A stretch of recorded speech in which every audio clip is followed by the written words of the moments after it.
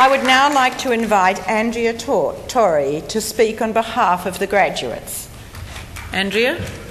Andre- Andrea received the Faculty of Business and Law Student Award for Most Outstanding Work Integrated Learning as the Most Outstanding Work Integrated Learning Student Accounting in 2009 for her excellent work during her Australia Post placement.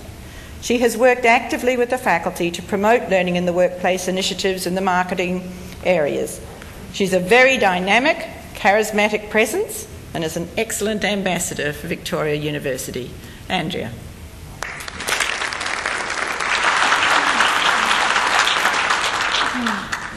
Vice Chancellor, Vice, oh, Vice Chancellor, Council members, distinguished guests, academics, teaching staff, fellow graduates, family and friends. When I was first asked to deliver this address on behalf of all graduating students, not only was I extremely honoured, proud, and excited, but I must admit nervous. When telling my family and friends of the news, my nerves started to set in, which resulted in one of my closest friends suggesting I picture everyone in their underwear up here today. My response was, That's a lot of people. Quite honestly, though, my time at Victoria University has been an amazing journey. I still remember the very first time I visited the Footscray campus. I was attending the university's open day, having visited and researched other universities, and trying to decide where I wanted to study for the next three years of my life. I knew as soon as I walked onto the campus that this is where I wanted to lay my foundation for my career in accountancy. All the people I spoke to were helpful, friendly, and informative, and that did not change throughout the entire course of my degree. One person in particular I remember meeting that day was Jeffrey Foe, who later ended up teaching me social and environmental accounting.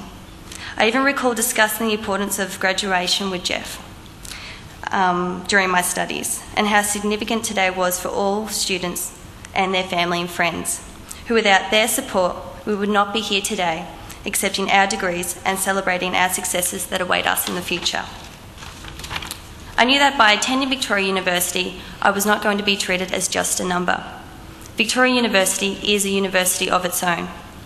Not only does it provide the tools necessary for students to academically, be academically recognised and equipped for their chosen profession, it also offers life experiences through programs such as Work Integrated Learning. It is due to this program that I was able to obtain industry experience at Australia Post in the Commercial Finance Group and where I continued to work until I completed my degree last year. It was also under this program for which I was awarded Co op of the Year in Accounting, where I met my new employer's BSA partnership, where I'm now learning probably the most riveting and publicly sought after at Canning Avenue taxation. What I'm trying to say is, without the support and curriculum Victoria University offers its students, I would not have had any of the opportunities mentioned above. I am privileged to have obtained my degree from Victoria University and will be forever grateful for the experiences I've had here, the knowledge I've gained, and last but not at all least, the most amazing and dearest friends I've met and made. Congratulations, graduates. Today is your day to celebrate all your hard work. I wish you all the best in your futures and in your future career and life. Vice Chancellor.